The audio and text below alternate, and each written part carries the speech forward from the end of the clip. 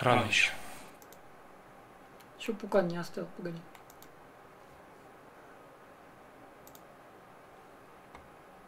Да ну нахер, короче, это я пизду.